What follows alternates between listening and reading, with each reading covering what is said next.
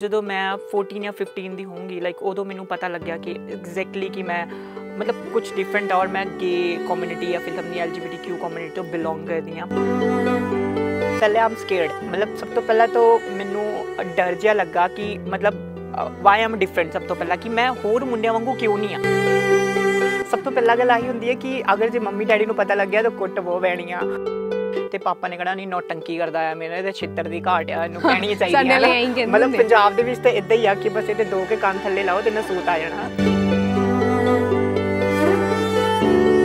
ਮੈਂ ਆਪਣੀ ਜਰਨੀ ਦੇ ਵਿੱਚ ਇੱਕ ਮਿਆਨ 'ਚ ਦੋ ਤਲਵਾਰ ਹਮੇਸ਼ਾ ਤੋਂ ਰੱਖ ਕੇ ਆਈ ਸੀ ਕਿ ਮੁੰਡਾ ਵੀ ਰਹਿਣਾ ਹੈ ਕੁੜੀ ਵੀ ਰਹਿਣਾ ਹੈ 18 ਇਨ ਹਾਫ ਤੱਕ ਮੈਂ ਦੱਸਿਆ ਨਹੀਂ ਕਿਸੇ ਨੂੰ ਕਿ ਮੈਂ ਕੀ ਹਾਂ ਤੇ ਘਰੇ ਕਿਸੇ ਨੂੰ ਵੀ ਨਹੀਂ ਪਤਾ ਫੈਮਿਲੀ 'ਚ ਵੀ ਕਿਸੇ ਨੂੰ ਪਤਾ ਸੀ ਕਿਸੇ ਨੂੰ ਵੀ ਨਹੀਂ ਪਤਾ ਲੱਗਿਆ ਨਾ ਹੀ ਕਿਸੇ ਰਿਲੇਟਿਵ ਨੂੰ ਕੁਝ ਲੱਗਾ ਬਸ ਉਹਨਾਂ ਨੂੰ ਆ ਪਤਾ ਸੀ ਇਹਨੂੰ ਕੁੜੀਆਂ ਵਾਲੀਆਂ ਚੀਜ਼ਾਂ पसंद आ आई starting playing the football cricket लड़कों की तरह जिम जाना उससे क्या हुआ थोड़ा सा मस्कुलर तो लगी बट स्टिल वो जो फीलिंग्स है ना वो कहीं ना कहीं day by day day by day वो ज़्यादा ही हो रही थी इंटरनली वो जो औरत थी ना अंदर मतलब वो उसको किसी ने हवा दे दी हवा दे दी किसी ने हवा हाँ, अब अब बाहर निकलो। हाँ।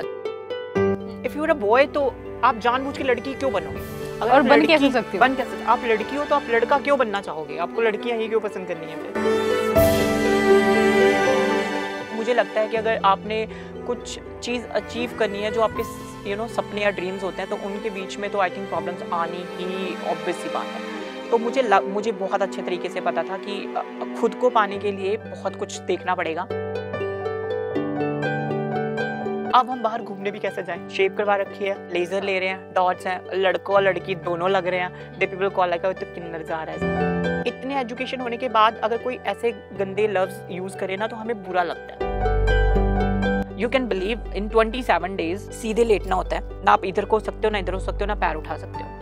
आप बिलीव करो सिर्फ़ सीधे लेटना है। एंड आफ्टर 27 डेज़ मेरे बैक की जितनी भी स्किन थी वो बिल्कुल डेड हो चुकी थी। ऐसे फिंगर से करते पूरी स्किन निकल गई थी। कुछ नहीं यूज़ करना आपने। आप ऐसे ही बेड पे एक दो घंटे लेट के दिखा दो।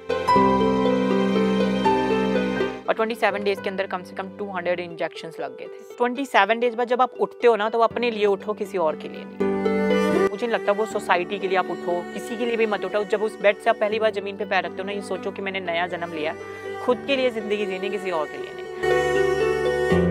25 साल का एक इतना हैंडसम बंदा, इतना मस्कुलर अच्छा खासा बेड पे लेटा हुआ है और वो चिल्ला रहा है इतनी ज़ोर से कि मुझे मार दो मतलब यू नो जहर दे दो मेरे को। मतलब बर्दाश्त नहीं होता पेन मैंने द साड़ी ना। मम्मा कहते हैं, यार फिर मेरी टू कॉपी है। मतलब शुरू, वैसे फीचर्स तो डिट्टो मिलते हैं मेरे मम्मा के साथ तो बट स्टिल अभी तो इतना ब्यूटीफुल है सब कुछ ना दे पीपल प्राउड मतलब रिलेटिव्स भी अब ये बोलते हैं कि यार वो बिल्कुल तुम्हारी तरह लगती है।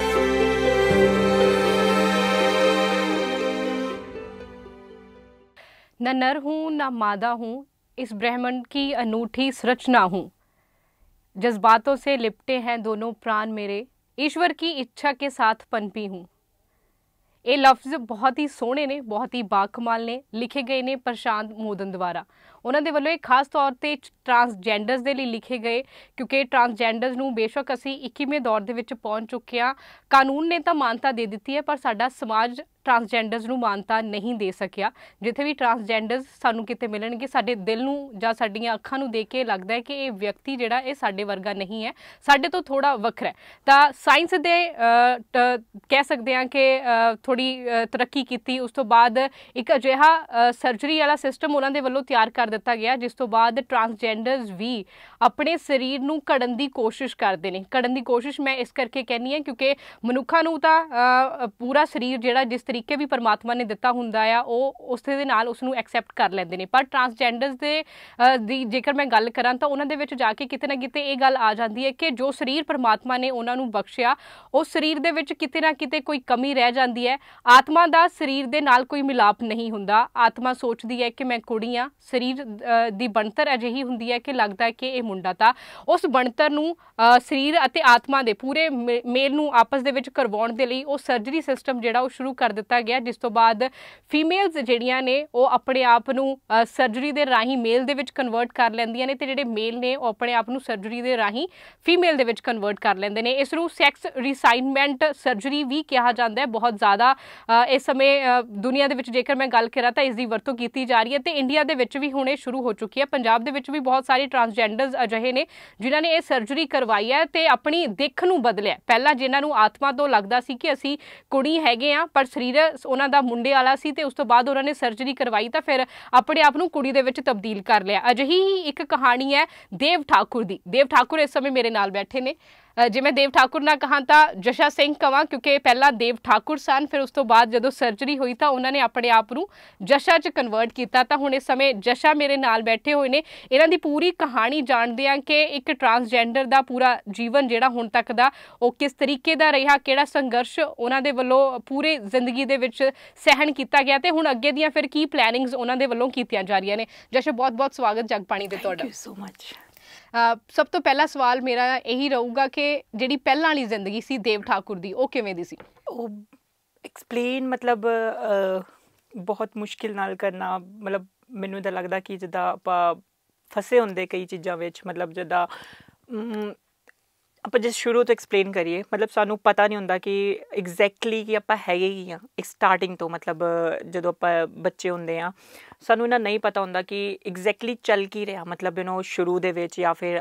ਆਖਰੀ ਦੇ ਵਿੱਚ ਜਾਂ ਫਿਰ ਇਨ ਬਿਟਵੀਨ ਜਦੋਂ ਅਸੀਂ ਆਪਣੀ ਜ਼ਿੰਦਗੀ ਜਿਉਂਦੇ ਆ। ਮਤਲਬ ਕੁਝ ਤਾਂ ਡਿਫਰੈਂਟ ਜਿਹਾ ਲੱਗਦਾ ਬਟ ਐਗਜ਼ੈਕਟਲੀ ਕੁਝ ਸਮਝ ਨਹੀਂ ਆਉਂਦਾ ਮਤਲਬ ਮੈਂ ਪਹਿਲੀ ਵਾਰ ਉਹ ਜਾਣਨਾ ਚਾਹੂੰਗੀ ਕਿ ਪਹਿਲੀ ਵਾਰ ਦੇਵ ਠਾਕੁਰ ਨੂੰ ਕਦੋਂ ਲੱਗਿਆ ਕਿ ਦੇਵ ਠਾਕੁਰ ਐਕਚੁਅਲ ਦੇ ਵਿੱਚ ਇੱਕ ਕੁੜੀ ਹੈ? ਐਕਚੁਅਲੀ ਫੀਲ ਤੋਂ ਸ਼ੁਰੂ ਤੋਂ ਹੀ ਸੀ ਮਤਲਬ ਜਿੱਦਾਂ ਕਿ ਆਪਾਂ ਬਿਹੇਵ ਵੀ ਉਦਾਂ ਦਾ ਹੀ ਕਰਨਾ ਮਤਲਬ ਫੀਲਿੰਗ ਵੀ ਉਦਾਂ ਦੀ ਹੁੰਦੀ ਸੀ।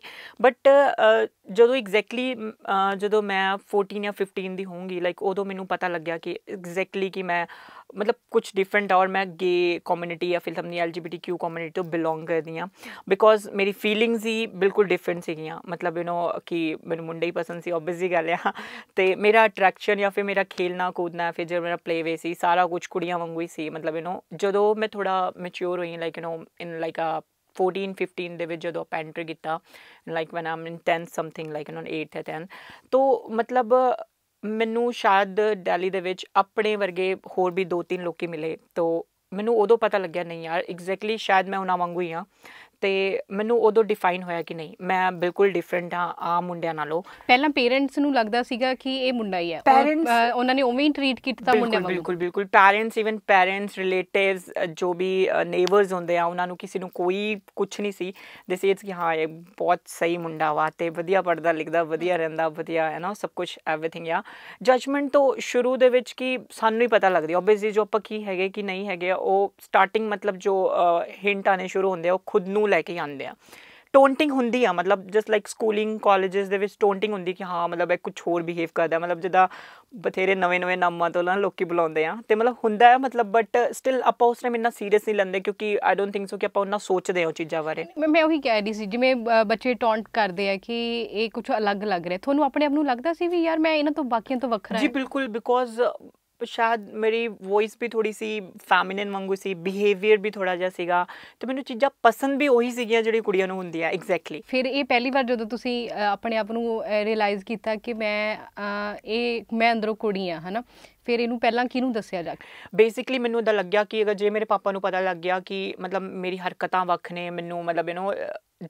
ਚੀਜ਼ਾਂ ਅਲੱਗ ਤਰੀਕੇ ਨਾਲ ਪਸੰਦ ਆ ਤੇ ਪਾਪਾ ਨੇ ਕਹਣਾ ਨਹੀਂ ਨੌਟੰਕੀ ਕਰਦਾ ਆ ਮੇਰੇ ਤੇ ਛਿੱਤਰ ਦੀ ਘਾਟ ਆ ਇਹਨੂੰ ਕਹਿਣੀ ਚਾਹੀਦੀ ਕਹਿੰਦੇ ਮਤਲਬ। ਪੰਜਾਬ ਦੇ ਵਿੱਚ ਤਾਂ ਇਦਾਂ ਹੀ ਆ ਕਿ ਬਸ ਇਹਦੇ ਦੋ ਕੇ ਕੰਨ ਥੱਲੇ ਲਾਓ ਤੇ ਨਸੂਤ ਆ ਜਾਣਾ। ਤਾਂ ਸਮਥਿੰਗ ਮੈਨੂੰ ਵੀ ਆਹੀ ਹੁੰਦਾ ਸੀ ਕਿਉਂਕਿ ਮੈਨੂੰ ਲੱਗਦਾ ਸੀ ਜੇ ਮੈਂ ਦੱਸਤਾ ਤੇ ਮਤਲਬ ਫਿਰ ਮੈਂ ਗਈ। ਤਾਂ ਮਤਲਬ ਉਹ ਡਰ ਦੇ ਮਾਰੇ ਮੈਨੂੰ ਇਦਾਂ ਸੀਗਾ ਕਿ ਮੈਨੂੰ ਉਹ ਜਿਹੜੇ ਆਪਣੇ ਅਦਰ ਗੇ ਫਰੈਂਡ ਸੀ ਉਹਨਾਂ ਨਾਲ ਜ਼ਿਆਦਾ ক্লোਜ਼ ਹੋਣਾ ਸ਼ੁਰੂ ਹੋ ਗਈ। ਮੈਂ ਕਿ ਹਾਂ ਨਹੀਂ ਉਹ ਮੈਨੂੰ ਸਮਝਦੇ ਆ ਤੋ ਉਨ ਫਰੈਂਡਸ ਨਾਲ ਮੈਂ ਫਿਰ ਪਾਰਟੀ ਚਲ ਜਾਣਾ ਜਾਂ ਫਿਰ ਉਹਨਾਂ ਨਾਲ ਰਹਿਣਾ ਆਰਾਮ ਨਾਲ ਟਾਈਮ ਐਕਸਪੈਂਡ ਕਰਨਾ ਘਰੇ ਆ ਕੇ ਬਿਲਕੁਲ ਨਾਰਮਲ ਰਹਿਣਾ ਮੁੰਡਿਆਂ ਵਾਂਗੂ ਹੈ ਨਾ ਤੋ ਬਿਲਕੁਲ ਬੀਅਰਡਸ ਐਂਡ ਮੁਸਟੈਂਗ ਐਵਰੀਥਿੰਗ ਬਿਲਕੁਲ ਸਹੀ ਤਰੀਕੇ ਨਾਲ ਰਹਿਣਾ। ਤੇ ਘਰੇ ਕਿਸੇ ਨੂੰ ਵੀ ਨਹੀਂ ਪਤਾ ਫਰੈਂਡਸ ਫੈਮਿਲੀ 'ਚ ਵੀ ਕਿਸੇ ਨੂੰ ਪਤਾ ਸੀ ਕਿਸੇ ਨੂੰ ਵੀ ਨਹੀਂ ਪਤਾ ਲੱਗਿਆ ਨਾ ਹੀ ਕਿਸੇ ਰਿਲੇਟਿਵ ਨੂੰ ਕੁਝ ਲੱਗਾ। ਬਸ ਉਹਨਾਂ ਨੂੰ ਆ ਪਤਾ ਸੀ ਇਹਨੂੰ ਕੁੜੀਆਂ ਵਾਲੀਆਂ ਚੀਜ਼ਾਂ ਪਸੰਦ ਆ ਮਤਲਬ ਜਿੱਦਾਂ ਇਹਨੂੰ ਮੇਕਅਪ ਕਰਨਾ ਪਸੰਦ ਆ ਖੁਦ ਦੇ ਉੱਤੇ ਨਹੀਂ ਮਤਲਬ ਕਲਾਇੰਟਸ ਦੇ ਉੱਤੇ ਜਾਂ ਫਿਰ ਸਮਥਿੰਗ ਮੈਂ ਕਦੇ ਐਜ਼ ਅ ਬੋਏ ਟਰਾਈ ਨਹੀਂ ਕੀਤਾ ਕਿਉਂਕਿ ਮੈਨੂੰ ਤਾਂ ਲੱਗਿਆ ਕਿ ਜੇ ਮੈਂ ਟਰਾਈ ਕਰੂੰਗੀ ਤੇ ਕਿਸੇ ਨੂੰ ਜੇ ਪਤਾ ਲੱਗ ਗਿਆ ਤਾਂ ਉਹਨਾਂ ਨੇ ਮੇਰੇ ਘਰੇ ਦੱਸ ਦੇਣਾ ਫਿਰ ਤੋਂ ਬਾਅਦ ਤਾਂ ਫਿਰ ਗਈ ਮੈਂ ਹੈਨਾ ਫਿਰ ਸ਼ਿੱਤਰ ਤੇ ਉਸ ਡਰ ਦੇ ਮਾਰੇ ਮੈਂ ਕਦੇ ਉਹ ਸਟੈਪ ਚੱਕਿਆ ਹੀ ਨਹੀਂ। ਬਸ ਦਿਲ ਤਾਂ ਬਹੁਤ ਕਰਦਾ ਸੀ ਬਟ ਸਟਿਲ ਡਰ ਹੁੰਦਾ ਨਾ ਕਿ ਕਿਤੇ ਨਾ ਕਿਤੇ ਫੈਮਿਲੀ ਦਾ ਡਰ ਹੁੰਦਾ ਜਿਹਦੇ ਕਾਰਨ ਉਹ ਚੀਜ਼ਾਂ ਦੱਬੀ ਰਹਿ ਜਾਂਦੀਆਂ। ਤੇ ਉਹ ਸਟਿਲ ਉਹ ਦੱਬ ਕੇ ਰਹੀਆਂ 4 ਸਾਲ। Then am become a makeup artist ਤੋਂ उसके बाद क्या हुआ कि थोड़ी बहुत चीज़ें शुरू हो गई कि मतलब ठीक है, मम्मा को पता लग गया कि मतलब यू नो इसके अंदर थोड़ी सी डिफरेंट चीज़ें बट वो कहते नहीं यार, लोगों ने ये बोलना कि नहीं, ये मेकअप आर्टिस्ट है तो थोड़ा सा है। ਮਤਲਬ ਇਸਮੇ ਉਹ ਗਰਲਿਸ਼ ਹਰਕਤਾਂ ਹੈ ਕਿਉਂਕਿ ਉਹ ਕੰਮ ਹੀ ਵਹੀ ਨਹੀਂ ਕਰਤਾ ਹੈ ਮ- ਮੰਮਾ ਨੂੰ ਤੁਹਾਡੇ ਅ, ਕੰਮ ਕਰਨ ਨਾਲ ਪਤਾ ਲੱਗ ਗਿਆ ਜਾਂ काम ਉਹਨਾਂ करने ਤੱਕ नाल नहीं ਪਹੁੰਚਾਈ मतलब ਗਈ यू नो ਤੁਸੀਂ ऐसा कुछ पहुंचाया चाहे नहीं मतलब थोड़ी बहुत चीजें पता लग जाती हैं जैसे अब अब अब नॉर्मली अगर आपके साथ कोई लड़का बैठा है अगर वो थोड़ा सा फेमिनिन बिहेव करे तो आपको भी लगेगा कि नहीं इसमें थोड़ी बहुत हरकतें हैं हाँ। तो वो पेरेंट्स जिनके साथ आप रहते हो तो आई थिंक वो लोग ज़्यादा नोटिस कर लेते हैं। तो समझ ही लेंगे। ऑब्वियसली नोटिस कर बट उन्होंने कभी कुछ बोला नहीं मतलब हम्म। मुँह पे कभी नहीं बोला कि हाँ ये गलत है ये सही है। उनको ऐसा लगा कि चल ठीक है जो आप कर रहे हो सही है। तो फिर क्या हुआ कि एक सबसे बड़ा डिसीज़न लिया था मैंने कि एक बार ट्राई करती हूँ एटलीस्ट अपनी माँ मम्मा पापा के इज़्ज़त के लिए कि मतलब मुंडिया वांगू रह के देख दिया कि रह सकती नहीं। ਤੋ ਤਾਂ ਉਹ ਵੀ ਮਤਲਬ ਇੱਕ ਤਰੀਕੇ ਨਾਲ ਆਪਣੇ ਆਪ ਨੂੰ ਦਬਾ ਕੇ ਰੱਖਣਾ ਕਿ ਪੇਰੈਂਟਸ ਲਈ। ਉਹ ਜਸਟ ਬਿਕੋਜ਼ ਆਫ ਦਿਸ ਕਿ ਮੇਰੇ ਅੰਦਰ ਇੰਨੀ ਹਿੰਮਤ ਨਹੀਂ ਸੀਗੀ ਕਿ ਮੈਂ ਆਪਣੇ ਮਾਪੇ ਨੂੰ ਦੱਸ ਸਕਾਂ ਕਿ ਯਾਰ ਮੈਂ ਕੁਝ ਅਲੱਗ ਆ। ਨਾ ਤੋ ਫਿਰ ਕੀ ਹੁਆ ਕਿ ਆਫਟਰ ਦੈਟ मैंने सबसे पहले सोचा कि लड़के अ, क्या कर सकते हैं? मतलब सबसे पहली बात मतलब एक एज इट इज़ बॉय दिखने के लिए सबसे पहली बात क्या? मस्कुलर होना है ना? लाइक बॉडी वॉडी बनाऊँ तो शायद मैं थोड़ा लड़कों की तरह रहूँगी। I'll starting playing the football cricket then उसके बाद लड़कों की तरह जिम जाना I just join the gymming है ना? तो उससे क्या हुआ? थोड़ा सा मस्कुलर तो लगी बट स्टिल वो जो फीलिंग्स है ना वो कहीं ना कहीं day by day day by day वो ज़्यादा ही हो रही थी कम नहीं हो रही थी। बिकॉज़ आई डोंट नो कि हर एक चीज़ खत्म हो सकती है बट वो फीलिंग्स जो है वो कहीं नहीं मरती ना। फीलिंग्स खत्म नहीं हो हम बॉडी को किसी तरीके से जरूर ढाल सकते हैं किसी भी चीज़ में बट इंटरनली आप किसी कोई चेंज नहीं कर सकता ਜਾਂਦੀ। ਇਹ ਤੁਸੀਂ ਅ, ਤੁਹਾਡੀ ਕਿੰਨੀ ਏਜ ਦੀ ਗੱਲ ਕਰ ਰਹੇ ਹੋ uh, when I'm 20 something 19 and a half and 20 after one one and a half year but still वो चीज़ें का, काफ़ी ज़्यादा थी कि मुझे लड़के अट्रैक्ट करते थे उनसे प्यार हो जाता था जब भी मैं बात करती थी मतलब यू नो अपने बेस्ट फ्रेंड के साथ ज़्यादा लिंक आउट में रहना मतलब यू नो लड़कियों के साथ ज़्यादा पर्सनल होना मतलब यू नो बातें वगैरह। तो मतलब वो चीज़ें चल रही थी साथ साथ में बट यू नो जो वो दिखावा था वो ऑब्वियसली एक मास्क सामने था मतलब यू नो एक होता है ना आर्टिफिशियल चीज़ आ जाती है सामने। वो सोसाइटी के लिए वो चीज़ें थी। तो वो चीज़ थोड़े टाइम तक तो चली बट कहते हैं ना आर्टिफिशियल चीज़ ज़्यादा टाइम तक टिकती नहीं है। सो so, एक ना एक दिन तो वो ख़राब होना ही था। तो उसके बाद क्या हुआ कि when I am like twenty one so I make a friends मतलब मेरे को as a makeup artist when I am very famous so I make a friends कि हाँ यार अच्छे फ्रेंड्स बनाते हैं। तो उसमें से दो तीन फ्रेंड्स गए अच्छे थे मतलब यू नो गेज थे। तो उन्होंने समझाया कि मतलब कब तक मतलब ये चीज़ें कब तक चलती रहेंगी? ना लाइफ में कभी शादी करनी है ना ये वो। तो मतलब इंटरनली वो जो औरत थी ना अंदर मतलब वो उसको किसी वो ने हवा दे दी हवा दे दी किसी ने कि हवा हाँ, अब अब बाहर निकलो। हाँ तो क्योंकि जब हम Delhi Mumbai you know survive करते हैं हम लाइक हम there in one in half year as a celebrity makeup artist in Mumbai तो वहाँ पे क्या हुआ कि चीज़ें और भी ज़्यादा आंधी की तरह ना मतलब आई और आग को और भी भड़का गई। तो समथिंग वहाँ पे जाके पता चला कि नहीं यार मतलब अपने आप को दबा के मैं कब तक जी सकती हूँ? मतलब तो एक साल दो साल पाँच साल दस साल ना। टिल द पॉइंट मतलब ये आएगा कि पूरी की पारी लाइफ सिर्फ़ लोगों के लिए वेस्ट कर दी मैंने। है ना? सिर्फ़ ये छुपाने में कि हाँ मैं एग्जैक्टली exactly मैं क्या हूँ? चलो ठीक है अब अब तो थोड़ा हमने चिल मारना शुरू किया एक डेढ़ साल मतलब चलो ठीक है चलता रहा कि मैंने डिसाइड किया चलो ठीक है हम खुल के बाहर आएँगे। बट स्टिल जब आप एक अच्छे नेम फेम के साथ रन कर रहे हो अच्छी अर्निंग्स होती हैं इतना अच्छा बिज़नेस चल रहा होता है सब कुछ तो आप वहाँ पर डरते भी हो कि अगर कुछ गलत या फिर कुछ इमेज पर कोई सवाल आ गया तो लोगों ने बहुत ताने माने ये तो ये हो गया ये तो ये निकला ये वो ना। तो उस डर के मारे चीज़ें स्टिल यू नो वो कारागार में बंदी थी। हम्म। मतलब निकल ही नहीं रही थी मतलब चाह के भी अगर मैं उसको चाहती कि मैं क्योंकि फिर एक हाँ, नाल रेपुटेशन का भी सवाल आ गया कि हूँ रेपुटेशन खराब होनी है। बिल्कुल बहुत बड़ी बात है वो कि एक मतलब बंद करके रख दिया उसको कि नहीं लॉक लगा दो ये चीज़ बाहर नहीं आनी चाहिए।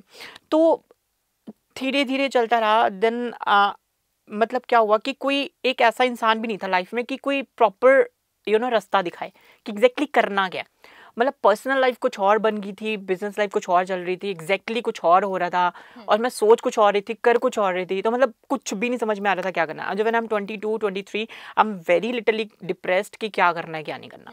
सिर्फ़ काम से मतलब था उसके बाद पूरा टाइम यही सोचना कि अब बनेगा क्या। अभी तो स्टिल चलो ठीक है मैं यंग ना तो आफ्टर दैट अगर शादी भी नहीं करनी ऑब्वियसली नहीं कर सकते शादी बिकॉज़ हम गे तो मैं शादी किससे करें? तो प्रॉब्लम ये थी कि गे भी नहीं बोल सकते। गे एज इट इज़ वो होते हैं कि जो स्टिल बॉयज़ रह के सर्वाइव कर सकते हैं है। ना? हम उस चीज़ को गे नहीं बोल सकते। तो वो इंटरनली चीज़ें इतनी ज़्यादा फंस गई थी कि हम डिप्रेस्ड फिर धीरे धीरे मैं थोड़ा बीमार रहने लग पड़ी कि नहीं बहुत ज़्यादा सोचना है माइग्रेन्स एंड ऑल प्रॉब्लम शुरू होगी कि बहुत ज़्यादा टेंशन लेने लग पड़े।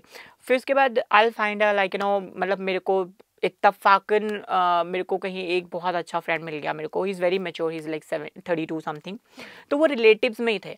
तो उनको he is very he is actually from like ना कनाडा सो लोगों की उनका थोड़ा फ्रीक माइंड था मतलब वो बहुत अच्छे फ्री मतलब वो थे तो काउंसिल बहुत अच्छा करते थे। हम्म। तो they know the doctors and all everything ना उनको पता था ऐसे कोई हार्मोन्स uh, की चीज़ों की कोई प्रॉब्लम्स होती हैं। तो मैंने उनसे एक बार डिस्कस किया कि मतलब ऐसे ऐसे समथिंग है बिकॉज़ हम अच्छे फ्रेंड बन गए थे तो हमने डिस्कस किया। तो कहते हैं कि चलो ठीक है तुम्हारी कन्फ्यूज़न का जवाब है बट स्टिल ये थोड़ा लॉन्ग प्रोसेस है। मैंने कहा ठीक है। फिर हमने सबसे पहले डिसाइड किया कि हमने करना क्या तो सबसे पहले का प्रोसेस था हमारा कि जैसे कि साइकेक्ट्रिस डॉक्टर्स होते हैं तो हमने उनसे स्पेशल कांटेक्ट किया कि मतलब मैं मेंटली बहुत डिस्टर्ब हूँ तो मैंने मुझे करना क्या एग्जैक्टली एक मेरा सवाल ये ये आप कंटिन्यू करते हैं ये सारा कल करते रहे फ्रेंड्स के नाल डिस्कस पेरेंट्स तक ये गल बिल्कुल नहीं पहुँची। बिल्कुल नहीं बिल्कुल नहीं क्योंकि मेरे उन्होंने लग रहा है कि असी अपना बेटा भेजा हुआ बाहर। बिल्कुल बिल्कुल। उनको ये बिल्कुल यही लग रहा था। तो उसके बाद क्या था कि जब मेरे को ये भी लगता था कि अगर गलती से भी मैंने घर पे किसी को भी बता दिया तो उनको एक बार पता लग गया तो उनके दिमाग में डाउट रहेगा और वो लोग मुझे बाहर नहीं रहने देंगे okay. फिर बोलेंगे नहीं तू घर पे ही आके बैठ जा जो मर्ज़ी करना यहीं पे अगर बाहर नहीं जा ठीक है ना तो वो थोड़ा सा जो मम्मी पापा का डर है और भाई का डर था ऊपर से बड़ा भाई है तो ओबियसली डर था कि पिटेंगे तो बहुत बुरी तरह पिटेंगे इससे बेटर हम्म। ना ही बताएँ तो ज़्यादा अच्छा हम्म। तो एक्चुअली मॉम डैड इतने फैमिली में तो है नहीं कि हम लोग उनको प्रॉपरली जाके बताएँ हक करके कि पापा में कोई ये प्रॉब्लम है ना हम्म। तो डर बहुत बड़ी चीज़ होती है तो वो चीज़ स्टिली मतलब स्केर्ड हो रहा था सारा कुछ किया नहीं नहीं अगर बता देंगे तो बहुत बड़ी प्रॉब्लम हो सकती है। तो स्टिली सबसे पहले मैंने ये सोचा कि पहले मैं खुद कंफर्म करती हूँ कि स्टिल है क्या सब कुछ मतलब चल क्या रहा है मतलब यू नो लाइफ में हो क्या रहा है।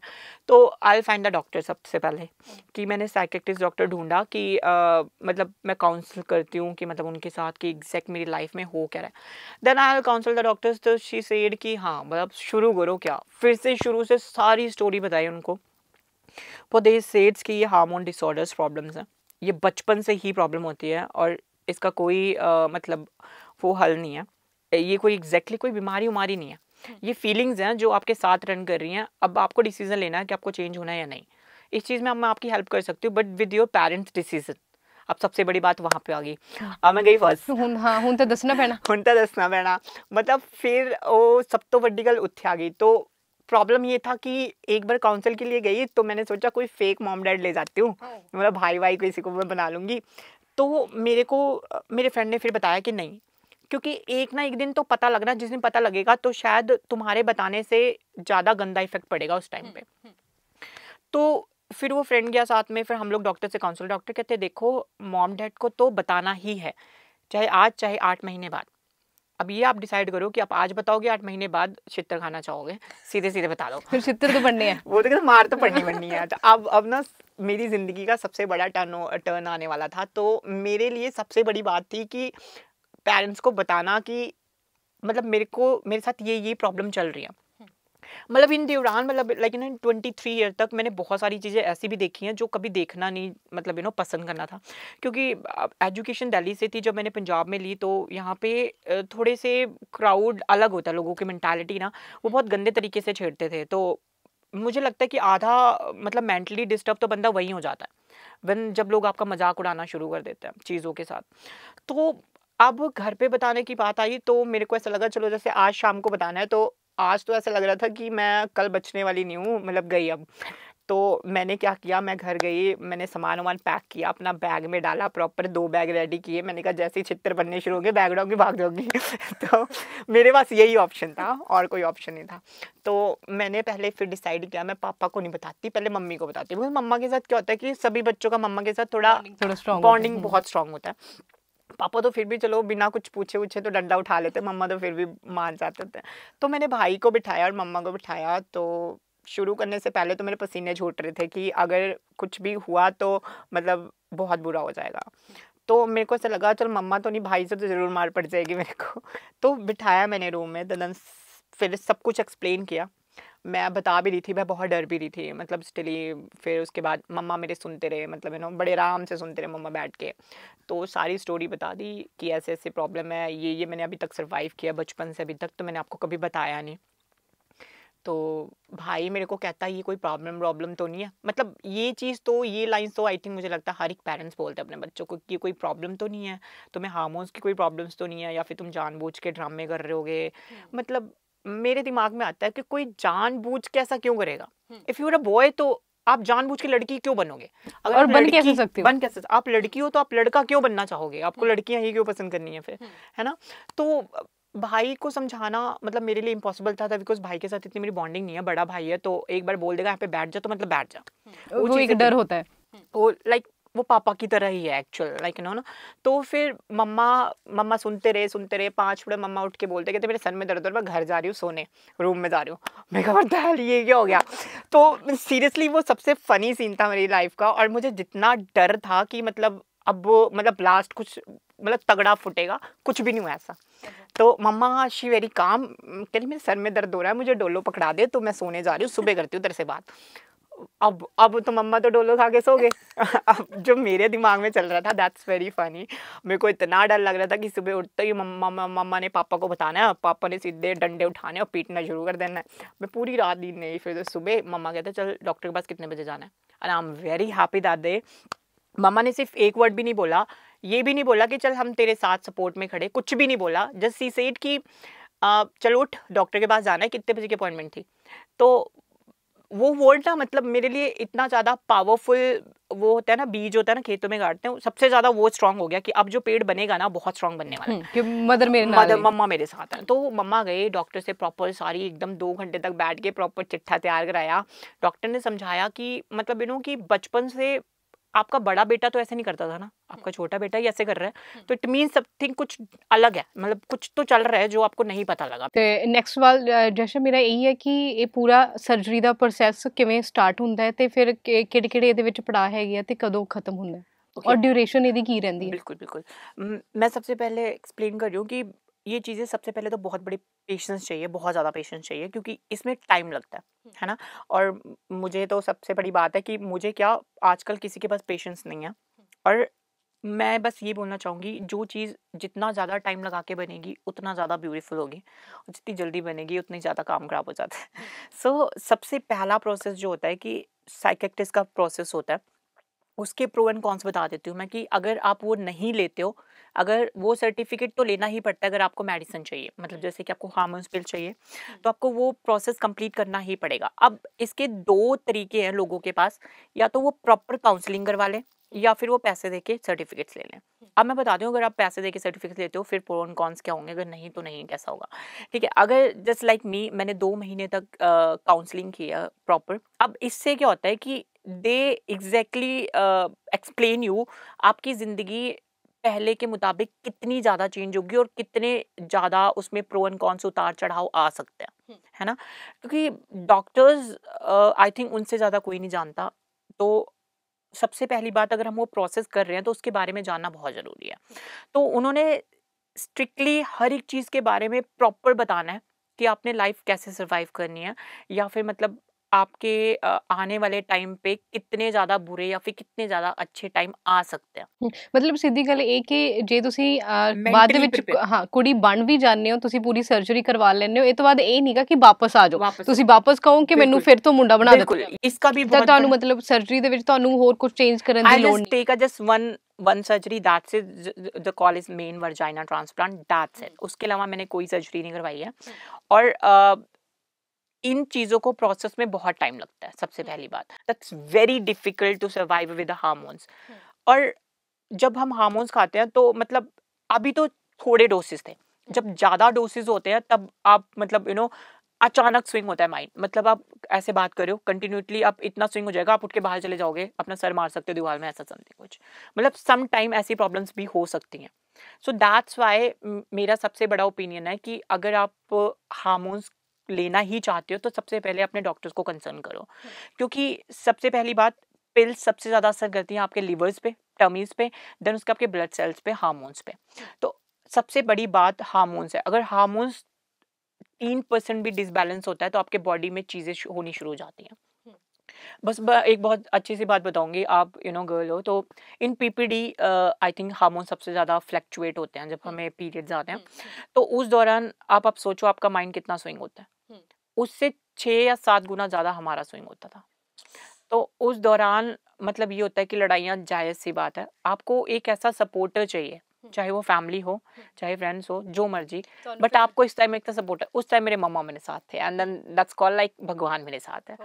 हाँ ना या वो मेरी गुस्सा भी सह लेते थे वो कुछ भी चिल्ला भी रही हूँ मम्मा कहते तू चल मेडिसिन खा रही मुझे पता है सब तेरे मेडिसिन के चक्कर में हो रहा है। और मैं और चिल्लाती थी फिर कि मतलब यू नो मेरे को बाहर जाना है मेरे को जाने दो ही वो कहते जा फिर ताने मरेंगे फिर अपने आप फिर अंदर आ जाएगी। तो गुस्सा और भी गुस्सा होगी फिर। फिर स्टिल उन सब चीज़ों में सर्वाइव करना it's very difficult for me medicine अब मैं सिर्फ़ मेडिसिन की अगर मैं बात करूँ तो मुझे बस ये लगता है कि आप अगर साइकेट्रिस्ट वाला यू नो प्रोसेस कंप्लीट करते हो तो फाइंड अ गुड डॉक्टर जो यू नो डाइ डाइनाकोलॉजिस्ट होते हैं उनसे। देन उसके बाद they can check you hormones properly थोड़ा सा प्रोसेस में खर्चा भी है ऑब्वियस सी बात है। अगर आपको कुछ अच्छा करना है तो ऑब्वियस सी बात है। पेमेंट्स तो जायज़ है ਅਹ ਜਦੋਂ ਤੁਸੀਂ ਇਹ ਪੂਰੀ ਸਰਜਰੀ ਵਾਲੇ ਟ੍ਰੀਟਮੈਂਟ ਦੇ ਵਿੱਚੋਂ ਨਿਕਲ ਰਹੇ ਸੀਗੇ ਪੂਰਾ ਪ੍ਰੋਸੈਸ ਚੱਲ ਰਿਹਾ ਸੀ ਉਦੋਂ ਫਿਰ ਡਾਈਟ ਦਾ ਧਿਆਨ ਕਿਵੇਂ ਰੱਖਣਾ ਪੈਂਦਾ ਸੀ बिल्कुल अ, ये बहुत ज़रूरी बात है क्योंकि बिफोर दैट सबसे पहली बात कि ऑपरेशन कराने से छः महीने पहले आपको डाइट का बहुत ध्यान रखना पड़ेगा क्योंकि आपको बहुत अच्छे से ਉਸ ਤੋਂ पता होता ਪਹਿਲਾਂ है कि ਉਸ ਤੋਂ ਪਹਿਲਾਂ ਤੁਸੀਂ ਸਭ बिल्कुल। ਕੁਝ ਖਾਂਦੇ ਸੀਗੇ ਸਭ सब ਕੁਝ कुछ उससे पहले खाना ही पड़ेगा आपको अगर आपने एक्सेसिव प्रोटीन्स या कार्बोहाइड्रेट्स या फिर समथिंग वाइटामिन नहीं लिए हैं ऑपरेट में उतना ही ज़्यादा प्रॉब्लम आएगा और आपके लाइक आपकी जो ऑपरेशन है वो हील्स नहीं होते हील नहीं होते जल्दी है ना? तो before six month like you know करवाने से टू थ्री मंथ पहले आई थिंक जितना ज़्यादा वेट गेन कर सकते हो उतना कर लो। मतलब सेवेंटी एटी भी कर सकते हो कर लो कोई चक्कर नहीं है। क्योंकि आफ्टर दैट ऑपरेट फिफ्टीन के जी वेट जाता ही जाता है। इस मिनिमम इतना वेट जाएगा। हम्म। फिफ्टीन तो जाएगा। मेरा मेरा sixteen seven sixteen half something गया था। Then I am forty seven forty seven मैं सिक्सटी फाइव की थी आई एम फोर्टी सेवन की हो गई थी? And I am like this और uh, इस ये सिचुएशन में इस ऑपरेट में इस ऑपरेट के बाद मतलब या फिर इंसान बहुत ज़्यादा फैल जाएगा या फिर बहुत लीन लीन हो जाएगा। बहुत लीन मतलब काइंड ऑफ़ बहुत लीन तो अब उसके बाद क्या करना है? अगर उसके बाद डाइट अच्छी रहती है ना तो it become a very beautiful ਇਹ ਇਹ ਜਦੋਂ ਸਰਜਰੀ ਚੱਲੀ ਸੀ ਉਦੋਂ ਫਿਰ ਤੁਸੀਂ ਸੂਟ ਪਾਉਣੇ Obviously, ਜਾਂ ਉਦੋਂ obviously, ਫਿਰ ਤੁਸੀਂ I- ਕੁੜੀ ਵਾਲੇ ਕੱਪੜੇ when, ਸ਼ੁਰੂ when ਕਰ I ਦਿੱਤੇ take a medicines after six months six months जब मेरे लेजर्स थोड़े से खत्म हो गए मुझे लगा beards चली गई हैं then I'll do my makeup you know फिर जब I am very famous makeup artist इतना बड़ा मेकअप आर्टिस्ट होने के बावजूद मैं खुद पे मेकअप करना मेरे को बिल्कुल नहीं आता था आई एम वेरी लाइक भूत बना देना मैंने सम टाइम पे तो वो चीज़ें सेल्फ लवर होना कई- बहुत ज़रूरी है ਘਰੇ ਫਿਰ ਪੇਰੈਂਟਸ ਕੀ ਕਹਿੰਦੇ ਸੀਗੇ ਯਾਰ ਇਹ ਸਾਡਾ ਮੁੰਡਾ ਪਹਿਲਾਂ ਕੱਪੜੇ ਪੈਂਟ ਸ਼ਰਟ ਪਾਉਂਦਾ ਸੀ, ਅੱਜ ਸੂਟ ਪਾ ਕੇ ਆਇਆ ਸਾਡੇ ਕੋਲ। ਬਿਲਕੁਲ, ਮਤਲਬ ਆਪ ਆਪ आप सोचोगे भी नहीं मतलब ऐसी ऐसी चीज़ें सुनने को मिलती हैं कि आ, आपको बर्दाश्त करनी ही पड़ेगी। बिकॉज़ अगर आपने अपने लिए डिसीज़न लिया है तो उसके प्रो एंड कॉन्स भी आपको ही टैकल करने पड़ेंगे। फादर ने किया कुछ? पापा ने कभी मेरे को आज तक बोला नहीं कुछ भी नहीं बोला इस इस रिगार्डिंग। मतलब एकदम पहले दिन सूट पाया सी उस दिन। पापा ने मुझे कभी मतलब ऐसे बिफोर ऑपरेट देखा नहीं क्योंकि आप बिफोर ऑपरेट मम्मा ने मुझे तकरीबन छुपा के रखा। हम्म। तो पापा देखते थे कभी बट मैं तकरीबन यू नो वो बॉयफ्रेंड फिटिंग पैंट्स होती हैं लड़कियों की वो टी शर्ट्स पहन लेना देन वो नॉर्मल चीज़ें तो हम पहन सकते हैं बट सूट्स वगैरह मैं जब पहनती थी जब पापा कहीं बाहर जाते होते थे ना सूट पहन के बाहर पार्टी में निकल जाना है समथिंग ऐसे ऐसे होता था चुप चुप के जाना है। तो उसके बाद पापा को तब पता चला जब आफ्टर ऑपरेट जब मैं घर आई था देन उसके बाद तब उसके बाद पापा कहते चलो मतलब अब अब ठीक है मतलब गोना बी ब्यूटीफुल तो मैं स्टिल मेरे को एक साल बाद जब ऑपरेट हो गया मतलब you know after that everything gonna be cool फिर सब कुछ बिल्कुल ठीक हो गया मम्मा मिलने आए तब तो घर पे भी सब कुछ बहुत अच्छा चलता रहा। फिर उसके बाद अब वापस से सब कुछ स्टार्ट करना था ढा- ढाई साल बाद ਔਰ ਕਿਉਂਕਿ ਪੇਰੈਂਟਸ ਦੇ ਨਾਲ ਨਾਲ ਹੁਣ ਸੋਸਾਇਟੀ ਨੂੰ ਸਮਝਾਉਣਾ ਸੀਗਾ बिल्कुल। ਸੋਸਾਇਟੀ अब- ਦੇ अब- ਵਿੱਚ अब ਆਉਣਾ प्रॉब्लम सबसे ज्यादा वहीं पे आ गई तो आफ्टर दैट क्या हुआ जब मैंने पहली उसके बाद मैंने अपना सलॉन ओपन किया तो सब कुछ जीरो हो चुका था मतलब आई एम वेरी जब वो उतना फेमस होने के बाद ਉਸ ਤੋਂ दो ਬਾਅਦ साल ਫਿਰ ਤੁਸੀਂ ਹੁਣ ਜਲੰਧਰ ਵਾਲੇ सैलून ਦੀ ਗੱਲ बिल्कुल ਕਰ ਰਹੇ मैंने हो अभी जलंधर में सलॉन ओपन किया यशा मेकओवर के नाम से तो मेरी वैसे आईडी भी है यशा मेकओवर में तो वहाँ पे सारा वर्क वहीं पे ही है Okay. तो अ, उसके बाद क्या हुआ कि जब मैंने डिसाइड किया काम शुरू करते हैं तो काम तो ऐसा लगा जैसे लाइफ में पहली बार कुछ कर रही हूँ मतलब जब मैंने कांटेक्ट किया सारा कुछ खत्म हो चुका था सब भूल चुके थे मतलब यू नो मुझे लगता है कि बिज़नेस वापस खड़े होना मेरे लिए पॉसिबल वो मेरे लिए सबसे डिप्रेशन का टाइम था आफ्टर ऑपरेट कि मतलब मेरे लिए स्टैंड लेना वापस से अपनी लाइफ में मेरे लिए बहुत मुश्किल था। तो घर वाले फिर उसके बाद जब घर पे सब पता लगा रिलेटिव्स को पता लगा तो मम्मा को बोलना शुरू कर दिया अरे ये क्या हो गया? आपका लड़का तो लड़की बन गया ये वो ऐसा वैसा क्या करवा दिया ये ऐसा।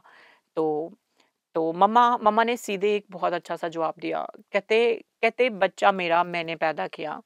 मुझे उसकी चीज़ें पसंद है मुझे उससे प्यार है। अगर मुझे नहीं बुरा लग रहा है तो आपको क्यों बुरा लग रहा है? तो मतलब that word is like a tag line for me कि यार मम्मा तो सच में ही यू नो भगवान ही होते हैं और वो उन्होंने उस टाइम वो भगवान वाला रोल प्ले कर दिया मेरी लाइफ में।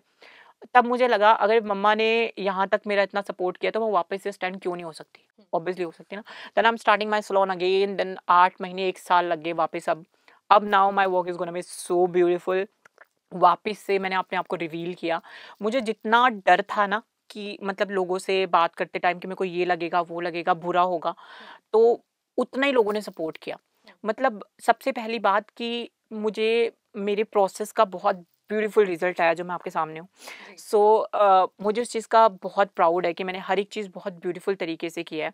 हर एक प्रोसेस बहुत अच्छे से कंप्लीट किया है बट पेशेंस के साथ। तो मैं बस यही बोलना चाहूँगी कि अगर पेशेंस uh, है तो डेफिनेटली हर एक चीज़ खूबसूरत हो जाती है। और मैं बस ये बोलना चाहूँगी कि किसी को भी अगर किसी को भी प्रोसेस शुरू करना हो तो उससे पहले सबसे पहले अपने पेरेंट्स की यू नो परमिशंस लो यू नो उनसे बात करो चाहे वो मान रहे या नहीं मान रहे बट एटलीस्ट उनके कानों में वो चीज़ होनी चाहिए कि आप वो चीज़ कर रहे हो।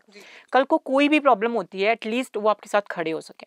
तो चाहे वो बुरे टाइम पे चाहे अच्छे टाइम डेफिनेटली और मैं ये प्रोसेस बहुत इजी नहीं बोलती कि बस हमने बोला और हम हो गए ऐसे चुटकी बजाया। इट्स वेरी डिफ़िकल्ट जब हम प्रोसेस में गुजरते हैं आफ्टर ऑपरेट लाइक ऑपरेट के टाइम पे you can believe in twenty seven days सीधे लेटना होता है। ना आप इधर को हो सकते हो ना इधर हो सकते हो ना पैर उठा सकते हो। आप बिलीव करो सिर्फ़ सीधे लेटना है। And after twenty four seven days मेरे बैक की जितनी भी स्किन थी वो बिल्कुल डेड हो चुकी थी। ऐसे फिंगर से करते पूरी स्किन निकल गई थी। हम्म। और इतना बुरा हाल था हम लाइक दिस ऐसे तिल्ली की तरह हो गई थी। और जब मैंने पहली बार पैर रखा ना मुझे ऐसा लगा मेरा नया जन्म हुआ है।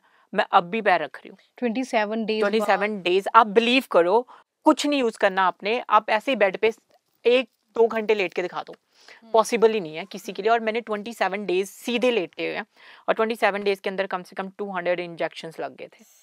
दैट सो डिफ़िकल्ट और ये ऑपरेट में मैं आपको पेन एक नॉर्मल एक एग्जांपल देती हूँ। आप एक साथ नाइन बेबी जब आप बॉर्न करते हो उतना पेन होता है सिर्फ़ एक ऑपरेट में।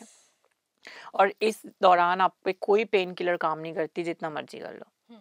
तो इतना ज़्यादा पेनफुल प्रोसेस है और इस पेन के बाद अगर मैं एक बात करूँ कि अगर फिर भी आपको अपने आप से प्यार नहीं है तो आई डोंट थिंक सो आपके जीने का कोई मकसद है। तो उसके बाद तो ये हुआ कि पहला प्रेफरेंस खुद को ही देना है ज़िंदगी में उसके बाद कोई आएगा तो ठीक है नहीं तो otherwise allow myself and alone but be happy you know वो चीज़ें बहुत मायने रखती हैं क्योंकि अपने आप को पाने में अगर आपने इतनी तकलीफ़ें सही है और उस तकलीफ़ों से मतलब बढ़कर कोई भी नहीं है ਉਹ 27 ਡੇਜ਼ ਜਦੋਂ ਲੰਬੇ ਲੇਟਣਾ ਹੈ ਕੁਝ ਹੋਰ ਨਹੀਂ ਕਰਨਾ ਉਦੋਂ ਖਾਣ ਪੀਣ ਦਾ ਕਿਉਂਕਿ कुछ भी नहीं मैं आपको बताती हूँ जस्ट आप ग्लूकोज पे जिंदा रहते हो आफ्टर 18 डेज जब आपकी यूरिन पाइप्स निकाल दी जाती हैं देन आप कुछ पी सकते हो जूसेस ले सकते हो चॉकलेट जिससे स्टूल ना बने ਜਿਸ ਚੀਜ਼ ਸੇ ਵੀ ਸਟੂਲ ਨਾ ਬਣੇ ਉਹ ਚੀਜ਼ ਲੈ ਸਕਦੇ ਹੋ ਬਹੁਤ ਬਹੁਤ ਵੱਡਾ ਸੰਘਰਸ਼ ਹੈ ਮੈਨੂੰ ਨਾ ਤੁਸੀਂ ਦੱਸ ਰਹੇ ਹੋ ਮੈਨੂੰ ਇੱਥੇ ਬੈਠੀ ਨੂੰ ਡਰ ਲੱਗ ਰਿਹਾ है मेरे को पुराने वो ना हॉस्पिटल वाले दिन याद आ गए मतलब आप आप बिलीव नहीं करोगे ऑपरेट के बाद जब हम चिल्लाते थे ना रूम में इतना दर्द होता था कि बहुत चिल्लाते थे कि हमें इंजेक्शन दे दो पेन किलर के तीन तीन इंजेक्शन के बावजूद हमें नींद नहीं आती थी ਜੇ ਮੇਰਾ ਇੱਕ ਸਵਾਲ ਕਿਉਂਕਿ ਇਹ ਸਰਜਰੀ ਤੁਸੀਂ ਦੱਸ ਰਹੇ ਹੋ ਕਿ ਇੰਨੀ ਜ਼ਿਆਦਾ ਪੇਨਫੁਲ ਹੈ ਤੁਹਾਨੂੰ ਲੱਗਦਾ ਹੈ ਕਿ ਜੇ ਸੋਸਾਇਟੀ ਸਾਥ ਦਵੇ ਤਾਂ ਫਿਰ ਸ਼ਾਇਦ ਜਿਹੜੇ ਟਰਾਂਸਜੈਂਡਰਸ ਹੈਗੇ ਨੇ ਉਹਨਾਂ ਨੂੰ ਨਾ ਲੋੜ ਪਵੇ ਇਹ ਸਰਜਰੀ ਕਰਵਾਉਣ ਦੀ मैं ये बात डिनाई करती हूँ क्योंकि सर्जरी करवाना हमारी ज़रूरत है। मतलब वो हमारी मतलब इंटरनली अगर वी आर अ वुमेन तो वी बिकम अ वूमेन। हम हमें वो चीज़ बनना है। और अगर सोसाइटी इस चीज़ में साथ देती है तो शायद हम उस चीज़ को इजीली सर्वाइव कर सकते हैं। अपना पूरा ट्रांसप्लांट करवाया सर्जरी करवाई है। इस तो बाद बेबी कंसीव कर सकते हैं। एक ऑप्शन है कि हम टेस्ट ट्यूब बेबी करवाएँ बट उसमें हमारे जान का रिस्क होता है। जस्ट लाइक आई मैंने यही सोचा हुआ है कि in future I I just adopt the two baby and boy and girl और वो जैसे भी होंगे वो मुझे मंजूर होंगे बहुत खूबसूरत बहुत बहुत ज्यादा थैंक यू सो खूबसूरत मच ਤੇ ਫਿਊਚਰ ਪਲੈਨਿੰਗਸ ਕੀ ਨੇ future planning but just i'm become a very famous business woman as a makeup artist and then after that देखो क्या होता है you know वक्त के साथ जो कुछ भी अच्छा हुआ तो accepted बुरा हुआ तो वो भी accepted ਜੀ ਥੈਂਕ ਯੂ ਸੋ ਮਚ ਜੇਸ਼ਾ ਤੁਸੀਂ ਆਪਣੀ ਅ, ਜ਼ਿੰਦਗੀ ਦਾ ਹਰ ਪਲ ਸਾਡੇ ਨਾਲ ਸਾਂਝਾ ਕੀਤਾ पहला प्रेफरेंस खुद को ही देना है ज़िंदगी में, उसके बाद कोई आएगा तो ठीक है, नहीं तो otherwise allow myself and alone will be happy you know वो चीज़ें बहुत मायने रखती हैं।